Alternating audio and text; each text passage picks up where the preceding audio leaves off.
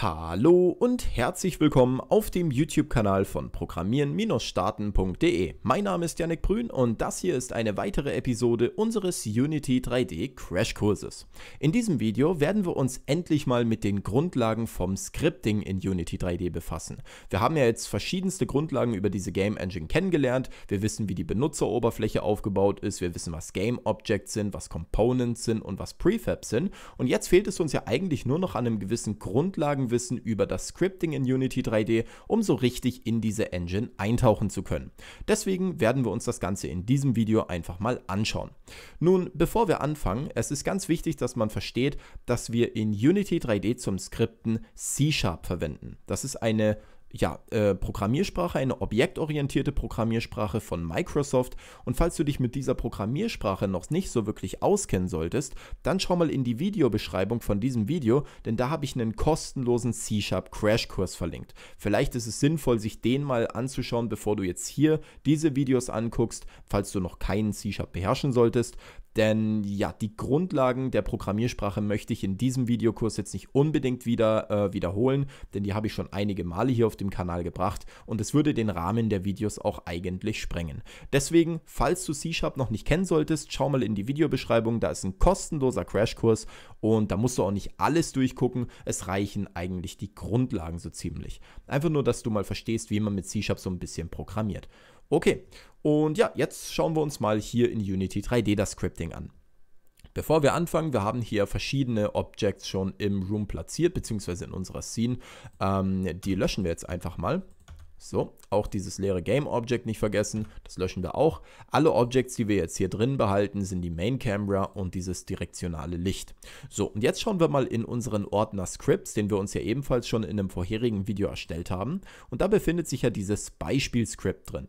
Dieses Beispielscript, das brauchen wir jetzt eigentlich auch nicht mehr, das löschen wir jetzt erstmal, indem wir hier einfach auf Entfernen klicken und dann auf Delete. So, dann wird dieses Skript gelöscht und jetzt erstellen wir uns ein neues Skript. So, um ein neues Skript zu erstellen, klicken wir einfach hier in den Ordner Scripts mit der rechten Maustaste. Dann gehen wir auf Create und dann auf C-Sharp Script. Und jetzt müssen wir diesem Skript einen Namen geben. Wir nennen dieses Skript jetzt einfach mal Hello World. So, denn damit programmieren wir jetzt eine einfache Hello World Anwendung. So, jetzt wollen wir dieses Skript öffnen und zwar in Visual Studio. Visual Studio wurde hier bei der Installation von Unity schon mit installiert. Ähm, wenn ich jetzt also hier dieses Skript öffne, dann öffnet sich standardmäßig Visual Studio. Ähm, machen wir das einfach mal. Klicken wir einfach mal mit der äh, rechten Maustaste, mit der linken Maustaste doppelt drauf, so. Und dann öffnet sich hier Visual Studio. Und dann haben wir hier unsere Projektmappe. Da drin befindet sich die Assembly. Da sind ein paar Verweise noch drin zu den verschiedensten Namespaces, die es hier gibt. Und wir haben hier jetzt unseren Ordner Assets. Das ist dann dieselbe Struktur wie in unserem Unity 3D Projekt. Also haben wir den Ordner Assets, dann Scripts und hier drin befindet sich jetzt diese Datei helloworld.cs. So, wenn wir die anklicken, dann öffnet sich dieses Script hier auf der Seite in dem Code Editor und du siehst, da wurde schon ein bisschen Code vorgeneriert. Zuerst einmal, wir haben hier eine Klasse. Okay, wir haben hier also eine Public Class, die nennt sich hier Hello World. Diese Klasse hat immer denselben Namen wie den Namen vom Skript. Also wenn du dein Skript Hello World nennst, dann heißt auch diese Klasse Hello World. Und es ist ganz wichtig, dass dieser Klassenname und der Name von deinem Skript identisch sind. Das heißt, wenn du deine Skripts in Unity benennst, dann mach da keine Leerzeichen rein und ähm, denk immer dran, dass deine Klasse im Endeffekt dann denselben Namen haben wird wie dein Skript. So. Wenn wir das hier ändern würden, wenn wir jetzt den Namen in Unity ändern würden, dann würden wir einen Fehler bekommen. Also das will ich nur mal anmerken, das ist sehr, sehr wichtig. Und unsere Klasse Hello World erbt jetzt von einer Klasse namens MonoBehavior. MonoBehavior ist die Basisklasse für alle Skripts in Unity 3D. Wenn wir ein Skript in Unity als eine Komponente an ein GameObject anfügen können wollen, dann muss dieses Skript eine Klasse besitzen, die denselben Namen hat wie das Skript selber. Zum Beispiel Hello World. Unser Skript heißt ja Hello World. Die Klasse hier heißt ebenfalls so. Und diese Klasse Hello World dann zum Beispiel muss von der Klasse MonoBehavior abgeleitet werden. Also sie muss davon erben. Denn MonoBehavior stellt viele ja, Basisfunktionen zur Verfügung, die wir hier für die Programmierung unserer Komponenten gebrauchen können. MonoBehavior ist eine Klasse, die sich hier im Namespace Unity Engine befindet. Und ja, jetzt schauen wir uns einfach mal an, wie das Scripting hier in Unity 3D funktioniert. Wir haben hier also unsere Klasse Hello World und diese Klasse Hello World wird abgeleitet von der Klasse MonoBehavior. Und MonoBehavior stellt jetzt verschiedene ähm, Funktionalitäten zur Verfügung, die wir hier in unserer Klasse für unser Skript benutzen können. Du siehst es ja schon, hier wurde schon ein bisschen mehr Code vorgeneriert in unserem Klassenkörper. Und ja, den schauen wir uns jetzt mal genauer an. Hier werden zwei Methoden schon mal definiert, die jetzt noch leer sind. Da können wir selber Code reinschreiben. Und diese Methoden sind einmal die Methode Update und einmal die Methode Start. Das sind zwei Methoden, die von MonoBehavior tatsächlich zur Verfügung gestellt werden. Und die können wir hier drin jetzt tatsächlich selber noch implementieren. Und alles, was die machen, ist, dass die zu bestimmten Zeitpunkten ganz einfach aufgerufen werden. Es gibt jetzt zum Beispiel hier die Update-Methode.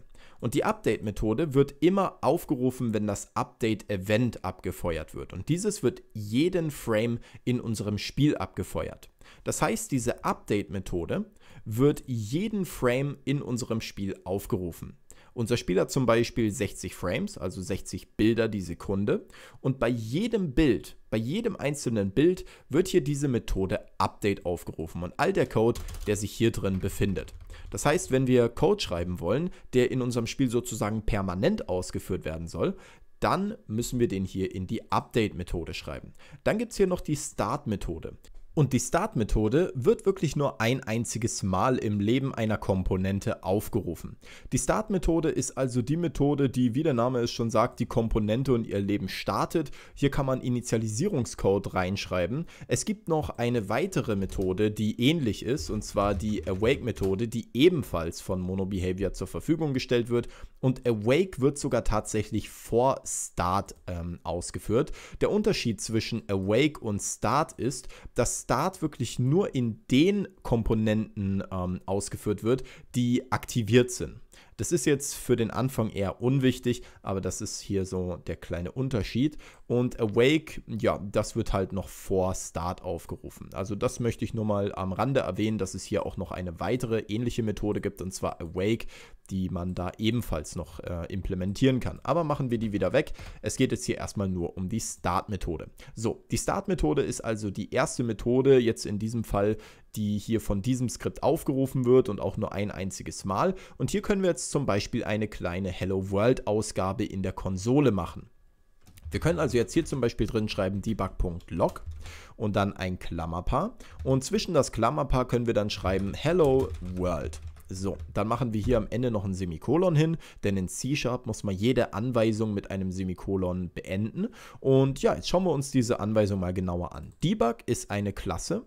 In dieser Klasse Debug befindet sich eine Methode namens log und dieser Methode kann man einen Parameter übergeben. In diesem Fall übergebe ich einen String und da steht drin Hello World und dieser String Hello World wird dann in der Konsole ausge, äh, ausgegeben. Also, das hier wird in der Start-Methode ausgeführt und die Start-Methode wird, wie gesagt, am Anfang vom Leben dieser Komponente ausgeführt. Jetzt speichern wir dieses Skript doch einfach mal mit Steuerung S oder indem wir halt einfach hier oben auf die Disketten klicken. Und jetzt gehen wir mal in die Entwicklungsumgebung Unity zurück. Wir haben hier jetzt also unser Skript Hello World. So, wir sehen hier sogar eine Vorschau, da steht jetzt auch drin, debug.log Hello World in der Start-Methode. Und dieses Skript können wir jetzt als Komponente ähm, einem Objekt zuweisen. Wir können das Ganze jetzt zum Beispiel dieser Kamera zuweisen oder dem Licht, aber wir machen es jetzt mal anders. Wir erstellen uns ein neues ähm, Object. Wir erstellen uns dafür einfach mal einen Würfel. So, also ist hier unser Cube. Den positionieren wir auf den Koordinaten 0, 0, 0. Und diesem Cube weisen wir jetzt dieses Skript zu, indem wir es einfach draufziehen. Also wir nehmen das Skript, ziehen es hier mit der Maus auf diesen Cube und wenn wir jetzt den Cube hier anklicken, dann sehen wir hier unten ist jetzt eine weitere Komponente drin und zwar Hello World in Klammern Script. Und ja, da ist einfach ein Script und das ist hier dieses Hello World Script. So, wenn wir unser Projekt jetzt starten, also wenn wir hier jetzt auf den Play-Button klicken, dann wird hier in der Konsole ähm, Hello World ausgegeben. Schauen wir uns das Ganze mal an. Und siehe da, hier steht Hello World in unserer Konsole. Und ja, dieses Hello World wurde ausgegeben von unserer Komponente, die dieses Skript enthält. Und ja, das war jetzt mal ein kleiner Einblick in die Welt vom Scripting in Unity 3D. Wir sehen also, man benutzt C-Sharp. Ähm, wir haben so die Klasse Mono Behavior mal kennengelernt und gesehen, wie so ein Skript aufgebaut ist mit diesen verschiedenen Methoden, die bei Events ausgeführt werden. Es gibt davon jetzt noch weitere Methoden, die wir im weiteren Verlauf des Crashkurses auch noch kennenlernen werden. Also da keine Sorge. Aber das war jetzt mal ein grober Einblick in das Ganze. Und im nächsten Video werden wir dann wirklich tiefer in die Materie Materie eintauchen. So, das war's dann mal wieder mit diesem Video. Weiter geht es dann im nächsten Part. Falls dir dieses Video gefallen hat, dann würde ich mich sehr darüber freuen, wenn du uns mal auf unserer Website besuchen würdest. Und zwar auf www.programmieren-starten.de. Dort gibt es unterschiedliche Videokurse zur Spieleentwicklung und zur Anwendungsentwicklung. Und ja, wenn das interessant für dich klingt, dann schau da auf jeden Fall mal vorbei. Was uns auch sehr unterstützen würde, wäre, wenn du diesem Video einen Daumen nach oben da lassen würdest. Und falls du es noch nicht getan hast, dann abonniere doch diesen Kanal, um nichts mehr zu verpassen. Wir bringen wirklich regelmäßig neue Videos wie dieses hier und falls das genau dein Ding ist, dann lass auf jeden Fall ein Abo da. In diesem Sinne verabschiede ich mich und wünsche noch einen wunderschönen Tag. Auf Wiedersehen.